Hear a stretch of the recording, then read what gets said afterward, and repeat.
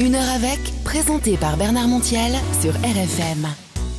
Bonjour à tous, je suis très heureux de vous accueillir en ce dimanche en compagnie de Monsieur Charles Berling. Une heure avec lui. Bonjour Charles. Bonjour Bernard. Ah, tu peux, tu peux commencer à plaisanter parce que je te signale que j'ai lu ton livre qui vient de sortir, Un homme sans identité. Je suis, euh, comment dirais-je, sur les fesses. Ah, merci. Et toi, je suis élégant. Je trouve ce, ce livre d'une authenticité et d'une violence à la fois incroyable. Alors, Charles Berling, tout le monde le connaît, comédien star au théâtre et au cinéma. Il est aussi devenu metteur en scène, directeur de théâtre Le Liberté de Toulon, la scène Château-Vallon, producteur, romancier, chanteur, marin accompli. Il navigue euh, d'un genre à l'autre au gré de sa grande curiosité. Il noircit toujours les pages de son agenda de 1000 projets. Charles Berling, je suis très heureux de vous accueillir. Merci, moi aussi, je suis très heureux d'être là. Et alors, vous savez qu'on est potes, on va quand même le dire, mais j'ai tellement appris des choses dans ce bouquin que je suis fasciné. Alors, chez les romanciers, j'ai toujours été fasciné, dites-vous, par cette contradiction qui consiste à mêler le plus intime au plus universel. Oui, c'est vrai, mais c'est quelque chose qui me fascine depuis toujours et d'ailleurs c'est, je crois, la base de, de toutes mes activités, de mon métier en particulier, puisque je crois que quand on commence à être acteur, quand on apprend au début, on, apprend justement à, à- savoir où euh, mettre son intimité au service de quelque chose d'universel, c'est-à-dire où, essayer de, de retrouver euh, sa propre intimité dans le tout qui nous entoure, dans les autres. Et, et comment arriver à se dévoiler tout en construisant quelque chose. C'est- assez curieux, quoi. Je disais tout à l'heure que le livre était violent, entre guillemets, violent par la sincérité, par tout ce que vous dites, tout ce que vous racontez. C'est un livre extrêmement intime que vous nous livrez là. Vraiment, j'étais sidéré. Moi qui te connais, j'ai appris beaucoup de choses, à la fois dans tes relations qui sont toujours passionnelles, il faut quand même le dire, que ce soit avec tes rôles ou avec Ouais. euh, tes compagnes, tes amours, euh, euh, tous ces désirs que tu arrives à assouvir, mais tu te mets totalement à nu et d'une façon incroyable, presque, comment dirais-je, presque choquante à ce point. Oui, c'est vrai. D'ailleurs, dans, dans le livre, je prends une. J'ai assisté à une scène, à une opération et chirurgicale. Oui, il y a un oui. corps comme ça qui est totalement livré euh, aux yeux de, de- de- de tous ceux qui sont dans la salle, euh, enfin, qui, qui- nous qui étions à regarder. Et tu rends hommage à ce professeur d'ailleurs plusieurs fois. Ben, je pense que c'est. D'abord, pour moi, la littérature, c'est un endroit où. C'est pas un endroit où on- de la pensée, c'est pas un endroit de la parole, c'est un endroit qui est au milieu, c'est un endroit qui est à la fois extrêmement intime et qui essaye de rencontrer les autres. Mais pour moi, ça passe par un exercice de sincérité absolue. Il n'y a que ça qui m'intéresse à ce moment-là. J'écrivais beaucoup la nuit et j'avais euh, j'avais pas envie de, de tricher avec euh, moi-même ou avec les autres. D'ailleurs, à certains moments, je faisais lire des passages à des proches en disant T'es sûr que. ou à mon éditeur, et je disais C'est sûr que tu veux que je publie ça? On me disait Oui, oui, vas-y, vas-y, on se retrouve là-dedans. Mais on va en parler parce qu'il y avait un bouquin que j'ai lu, on en parlera tout à l'heure, François Perrier, ça s'appelait Profession menteur.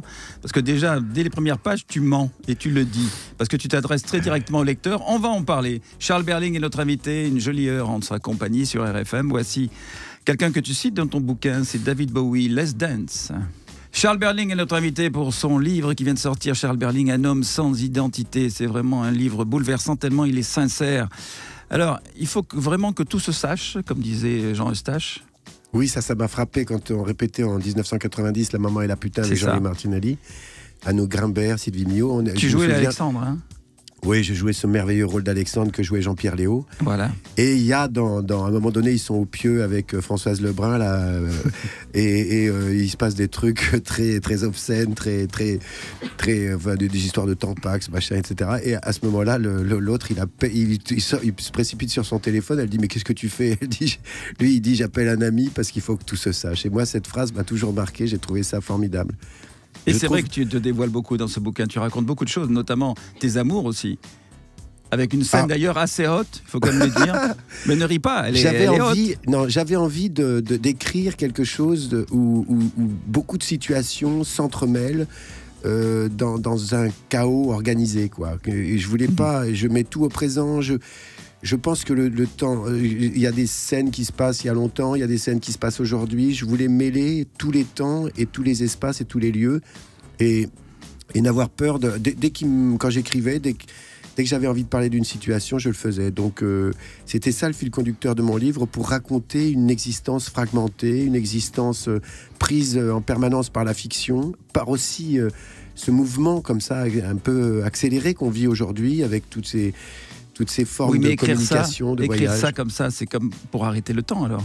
Ces Oui, fragments de pensée. bah, c'est, la littérature pour moi, c'est toujours euh, que je la lise ou que je là comme là que j'essaye de l'écrire, c'est c'est essayer de c'est essayer d'attraper une conscience du monde, de, de quelque chose de, de soi-même et d'accepter aussi la contradiction du, du chaos intérieur qu'on peut vivre les uns les autres. De ne pas se dire il faut que je sois tout bien quoi.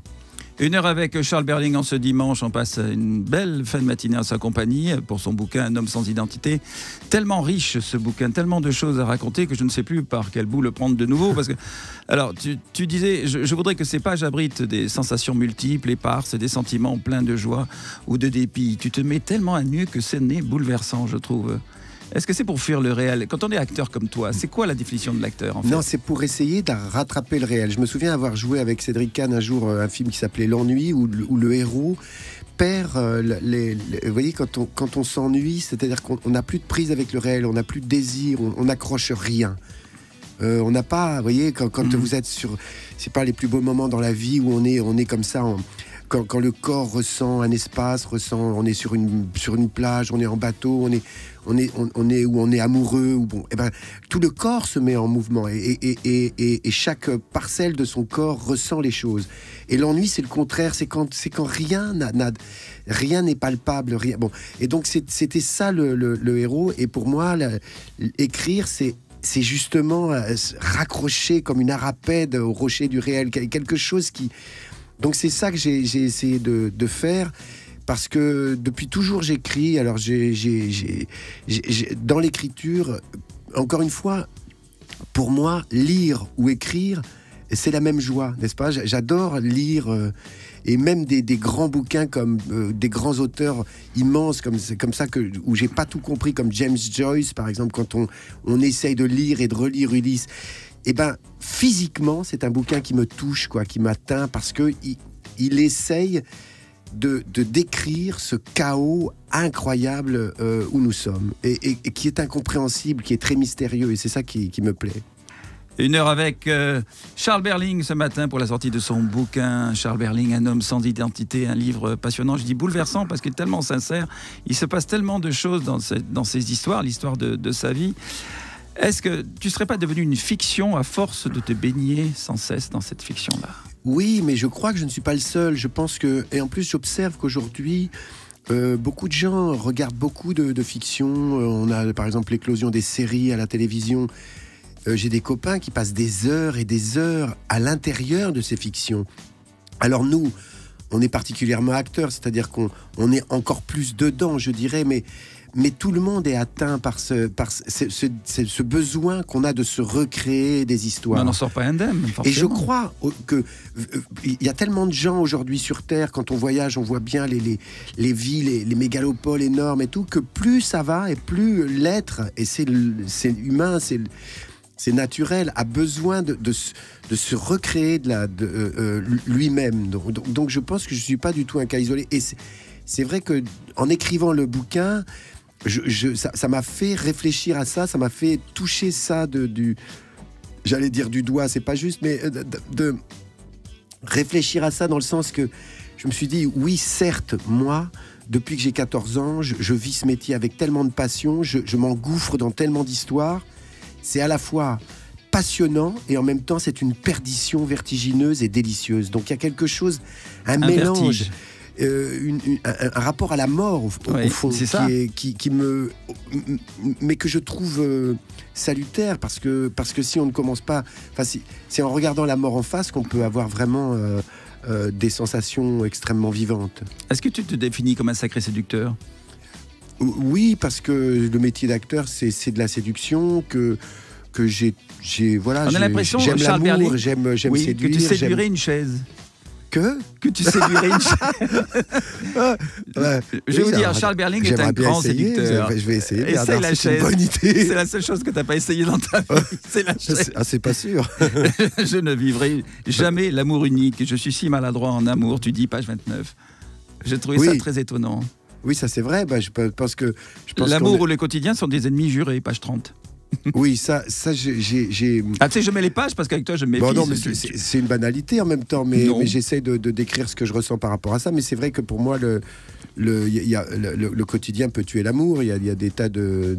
Enfin, des, des- et que je suis, oui, j'ai besoin d'aimer, d'être amoureux, de, de, de- de me sentir euh, parfois même en danger dans ces, dans ces amours. Ne réponds pas parce qu'on n'a plus le temps, mais tu vas voir, on va continuer l'interview. Mais il y a une Sophie, euh, évidemment, épousée en, en 88. Tu en parles hein, dans ton bouquin, donc c'est pas une indiscrétion de ma part. hein.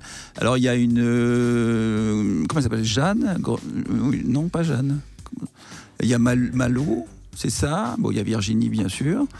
Tu, tu cites un peu toutes ces aventures. C'est pas exhaustif, hein, attention. non, c'est vrai. Bon, d'accord. Non, non, c'est exprès, c'est-à-dire, encore une fois, c'est une fragmentation. Il y a des gens qui ont énormément d'importance dans ma vie, que j'ai pas cité dans ce livre. C'est pas, c'est pas, euh, c'est pareil, c'est-à-dire que C'est pas un répertoire. Non, Non, mais c'est ce premier amour Et ça sur n'est le pas une bateau biographie, vous voyez, je ne cherche pas à faire une biographie, Non, non, c'est pas une biographie. pas non. du tout. Non, non, tu racontes très naturellement, c'est pour ça que ça nous passionne d'ailleurs. Euh, je, je le dis, je ne l'ai pas encore dit, mais le livre est, est très agréable à, li- à lire et il est Mm. passionnant parce qu'on se demande qu'est-ce qu'il va raconter après, derrière. Et à chaque fois, il y a quelque chose de nouveau, de fort, d'intense et de sincère. C'est ça qui est bouleversant chez toi. On va se retrouver dans quelques instants avec un blind test. Je te propose Queen. Alors, Queen, Bohemian Rhapsody. Tu sais pourquoi? Parce qu'en fait, Queen, le chanteur Freddie Oui, oui. Mercury, a été inspiré de l'étranger de Camus, que tu adores aussi, bien sûr Ah oui. pour plein de raisons personnelles et d'histoire de ta vie. Alors voici Queen, incroyable, hein Freddie Ah. Mercury inspiré par l'étranger de. Camus. Bah, comme quoi. J'ai lu une interview de lui où il le disait. Voici Queen sur RFM. Ah, il y aurait tellement de choses à dire avec toi, mon cher Charles Berling. On est très heureux de t'accueillir sur RFM. En cette fin de matinée de dimanche, on parlait euh, de Queen, de l'étranger de Camus. Là, évidemment, je pensais à ta maman, Nadia. Tu as écrit un très beau, très beau bouquin, un très bel hommage. Et Oui. c'est une très belle histoire aussi. Je vais te proposer un blind test maintenant, mon cher ami, qui date de 1978. Tu avais à peu près euh, tu- 20 ans. Oui, je sais. Je voulais que tu le dises. Alors, c'est un peu pervers, hein, Montiel, parfois. Allez, premier titre à découvrir.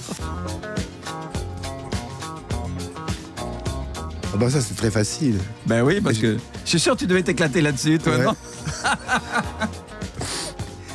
Voyez le sérieux, l'intello Charles Berling. Eh ben, il s'éclate sur les Bee Gees. Mais enfin, ça, c'est très connu. Ben oui. Moi, je suis nul pourtant en blind test. Thing like. Alors, t'inquiète pas, tous mes invités disent qu'ils sont nuls. Mm. Ben oui. Mais tu as dansé là-dessus, Ah ouais, sûrement. à mort. Et on danse Évidemment. encore d'ailleurs là-dessus. bien hein. sûr. Franchement, euh, Allez, deuxième. même les jeunes, ils connaissent.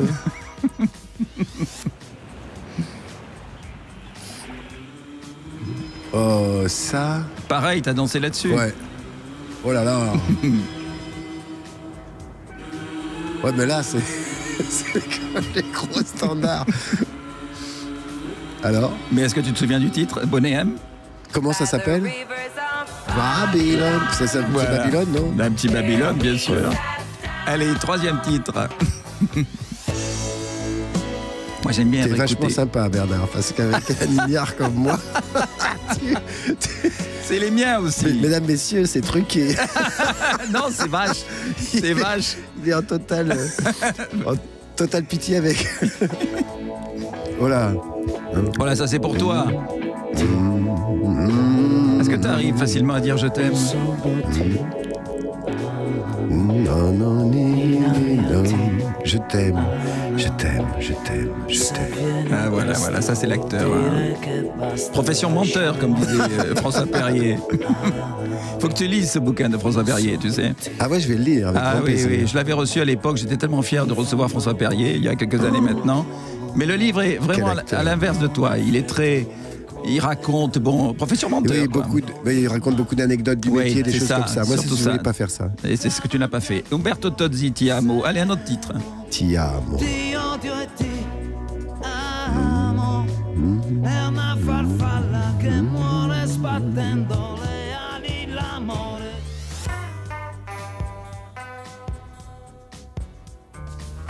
C'est quoi ça?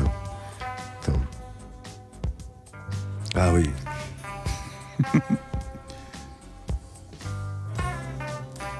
Toi, t'es pas jamais content. hein. T'es toujours enthousiaste. hein. Ah si si, c'est- je, je- d'ailleurs, euh, si si d'ailleurs, euh, si je peux être euh, mécontent. Ah, si, non, pas je suis enthousiaste et parfois je me laisse un peu emporter par, ma passion ou ma connerie. C'est c'est à vous de juger. On va mettre le dernier titre prévu. Le dernier. C'est vach- Ouais, tu ouais, peux ça, tout ça c'est 78. Oui, Ouais. tu ouais, avais 20 ans. Ouais. Et tu dansais comme un malade, sûrement. Je te vois danser comme un malade, c'est curieux. ouais. ah bah oui bon alors là, euh, toutes ces mains qui naissent. Qu'est-ce que c'est ça? Faudrait tout attraper, ces petites mains qui se blessent sans l'avoir demandé. Les mains. Toutes ces mains qui naissent Voudrais tout attraper, ces petites mains qui se blessent sans l'avoir demandé. Et vos mains qui se tendent, à savoir pourquoi, pour qu'on ne les oublie pas. pour qu'on ne les oublie pas. Voilà, et oui, les mains, Charles Berling, parce qu'il chante aussi. Ça te fait rire, Charles Berling, jeune chanteur, c'est l'album que Ouais, j'ai reçu il y a quelques temps déjà. chanson. Elle est bien la chanson. Ouais, je l'ai encore chanté il n'y a pas longtemps, là, sur une place euh, à Toulon. Charles Berling est notre invité jusqu'à 13h, vous le savez, sur RFM. Voici Anastasia, I'm Out of Love. Une heure avec euh, Charles Berling, on est très heureux de l'accueillir pour la sortie de son bouquin Un homme sans identité, un bouquin très très fort qui raconte vraiment beaucoup de choses, les, les- les tourments de l'acteur, ses joies, ses peines, la mort, la vie. J'ai parfois cette impression nette d'être entre la vie et la mort quand je joue. C'est fort ça. Ah oui, c'est-à-dire que Page l'en- 82. l'endroit du plateau, d'un plateau, l'endroit de la fiction, justement, c'est c'est ni complètement dans la vie, ni, euh, ni vraiment la mort, c'est un endroit au milieu et c'est un endroit de grande liberté, justement.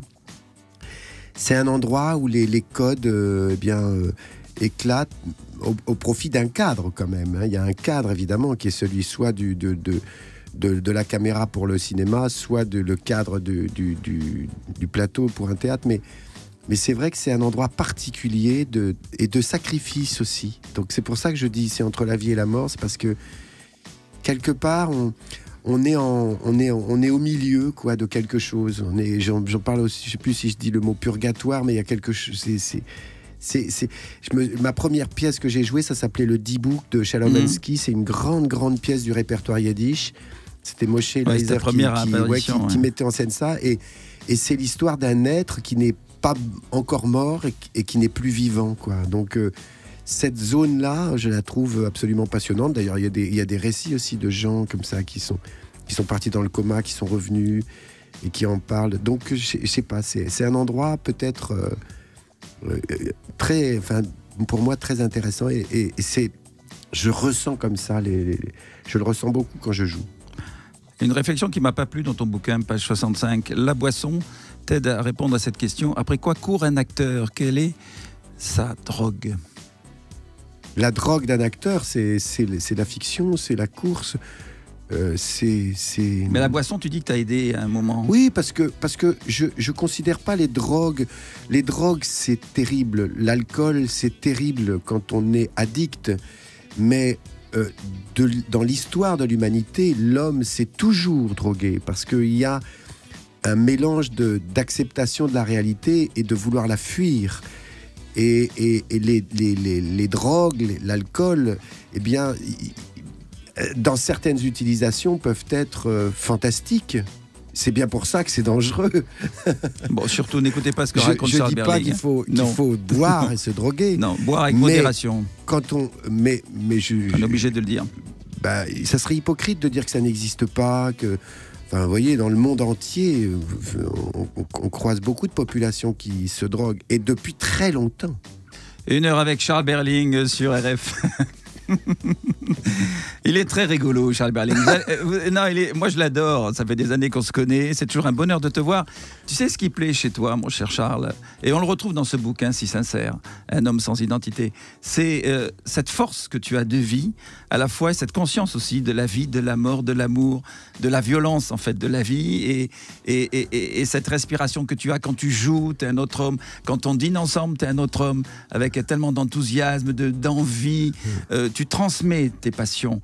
Toutes Oui. tes passions. Et, et je trouve que c'est un bonheur à chaque fois de te rencontrer. Tu es vraiment un grand séducteur. hein, et tu aimes ça, tu vois, ça non, fait mais rire. j'aime Bon. la vie, c'est beau la vie. C'est, c'est-à-dire, euh, euh, on, a, on a le temps de se reposer après. Non, je. je euh, bah, je ne sais pas si je fais, fais ça, dit ça dans le bouquin, mais, mais par exemple, j'observais qu'on a, on a, on a peur parfois, souvent, on, on peut, on parle de la mort, on, on peut en avoir peur. Est-ce qu'on a peur du moment où on n'existait pas encore, avant la naissance, n'est-ce pas? Ah, ça, tu n'en parles pas. non, mais c'est une mort Dans le aussi. On était mort avant et on est mort après.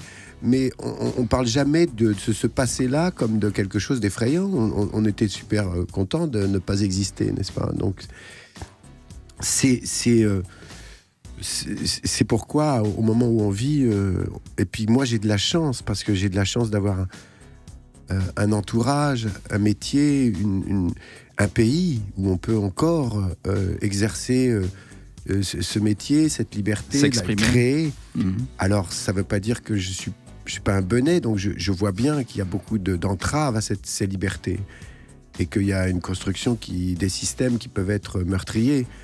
Je, c'est pas l'objet du livre là, Mm. mais de, de, c'est pas un livre d'engagement où je suis aussi directeur de théâtre, je m'en occupe beaucoup, je me sens très responsable, j'ai beaucoup d'ambition pour ces institutions. Avec Pascal Beuglin, on, on dirige ces Mhm. endroits à Toulon.